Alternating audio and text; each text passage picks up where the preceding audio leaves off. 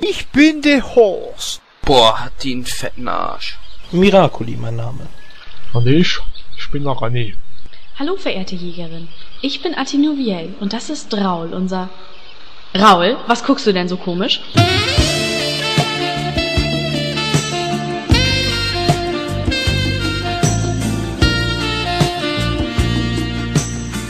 Raul, aufwachen!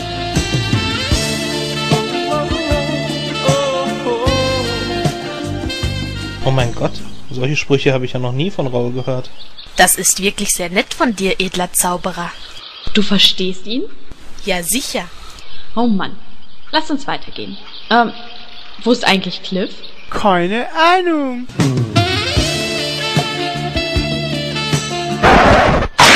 Oh mein Gott, sie haben... Sie haben... Sie haben Raul getötet? Wow, ich mein, ihr Schweine. Ah, Cliff. Da bist du ja. Hast du gesehen, wer das war? Ja, ja, das war der Makai. Der wollte auch mal wieder treffen. Na wette, den holen wir uns. Ich danke euch für eure Hilfe. Wir sehen uns in der nächsten Folge. Äh, demnächst in Stormwind. Auf Wiedersehen. Ich frag mich, wie die mit dem Hintern durch die Tür kommen. Okay, Männer, lasst uns weitergehen. Unsere Helden schlagen sich tapfer weiter und weiter durch das scharlachrote Kloster und stehen einige Stunden später vor dem gefürchteten Herod Khan. Schaut ihn euch an. Da unten steht er. Ich habe irgendwie den Drang, ihm eine Banane zuzuwerfen. Bananen hat's ja früher bei uns nicht gegeben, ne? Aber dafür hatten wir richtig leckere Spreewaldgurken. Meine Herren, können wir dann mal? Also, kann mich da mal wer? Horst, ich habe dir schon mal gesagt, dass wir keine Zeit für deine seltsamen SM-Spiele haben. Buffen, Miraculi, Buffen. Ach so, ja. mm, Okay. Du bist also der Titan. Dann versuch mal den hier zu halten. Tja. Horst, bitte sei vorsichtig. Ich habe gehört, dass Herod Khan die Genitalien seiner Opfer sammelt. Verdammt, der ist ja noch härter als der hohe Inquisitor.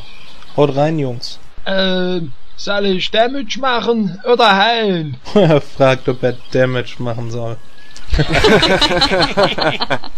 oh Mist, jetzt setzt Herod Khan zu seiner Spezialattacke an. Dem Affengesicht. Schnell, alle wegschauen. Verdammt, ich hab direkt reingeschaut. Wo ist denn der verdammte Rogue schon wieder? Ich bin hier. Aua. Irgendwie habe ich das Gefühl, dass ich ein Messer im Rücken habe. Das liegt vielleicht daran, dass du wirklich ein Messer im Rücken hast. Oh. Dann müsste ich jetzt wohl umfahren, was? Das macht man so, wenn man gleich stirbt. Ja, Naja, wenn sein muss. Uah. Gott, nicht mal normal sterben kann der Kerl.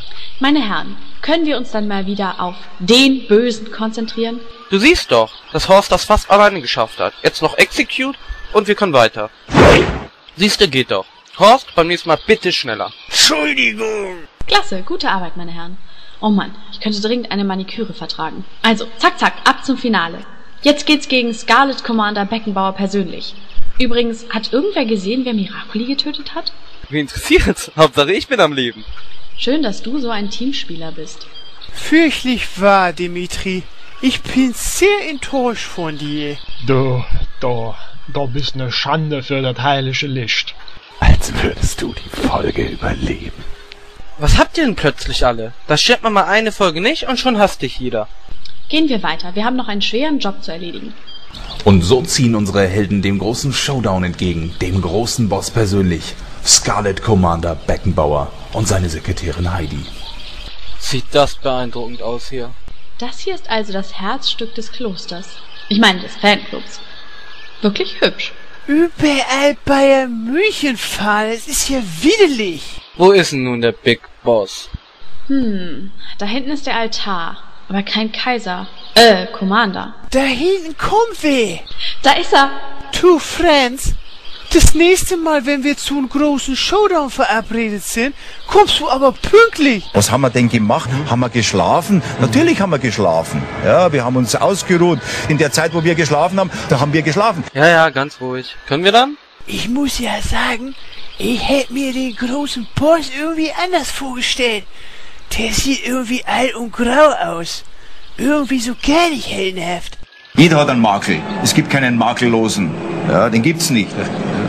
Äh, nicht einmal in der Geschichte der letzten Tausenden von Jahren. Jesus vielleicht, ja. Genug gequatscht. Jetzt wird gerockt.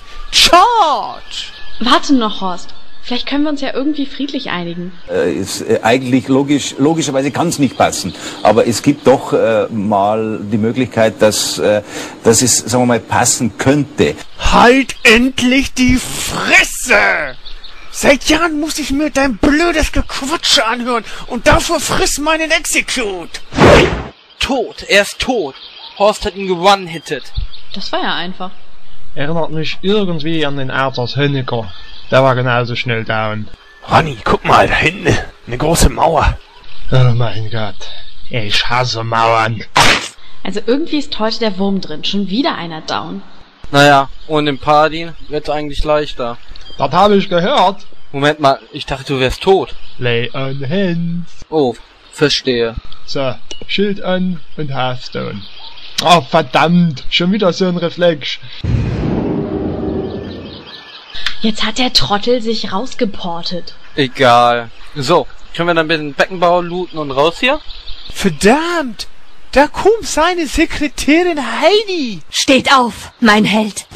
ja gut, äh, der Jürgen Klinsmann ist ein praktischer Weltstar. Er kennt die Mannschaften aus dem FF. Wir blenden an dieser Stelle aus, weil der liebe Horst völlig ausrastet und dieser Teil definitiv nicht jugendfrei ist. Wir machen einen kleinen Sprung und schalten uns direkt nach dem Endkampf wieder ein. Horst steht in einem kleinen Berg von Körperteilen, die mal dem Scarlet Commander und seiner Sekretärin gehört haben.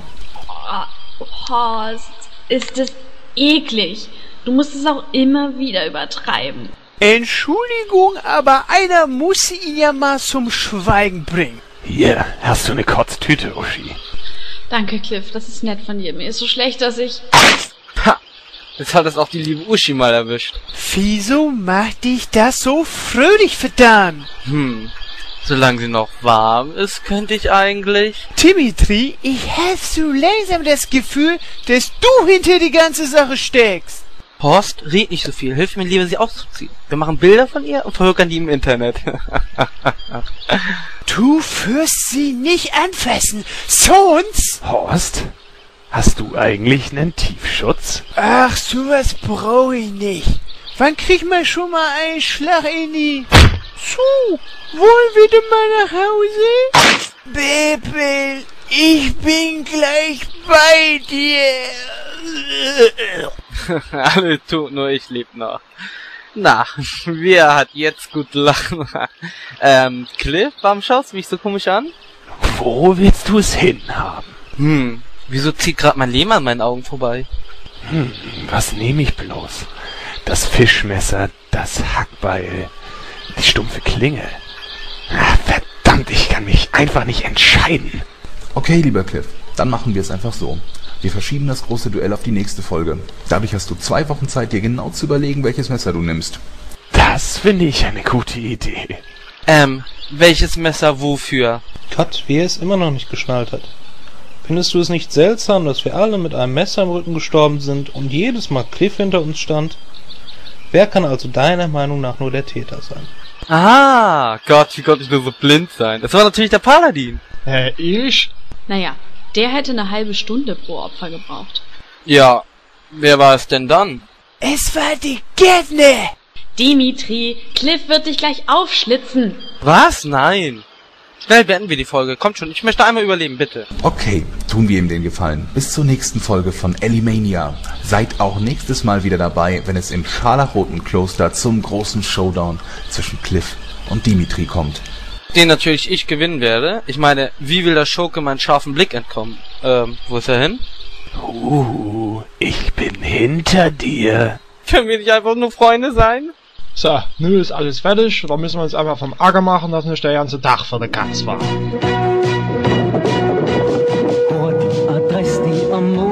realistisk Trofast og venlig som dagen er lang Solskin for oven og glad gennem skov Går han afsted, mens han synger en sang Ruby Bjørn hopper, hopper ned og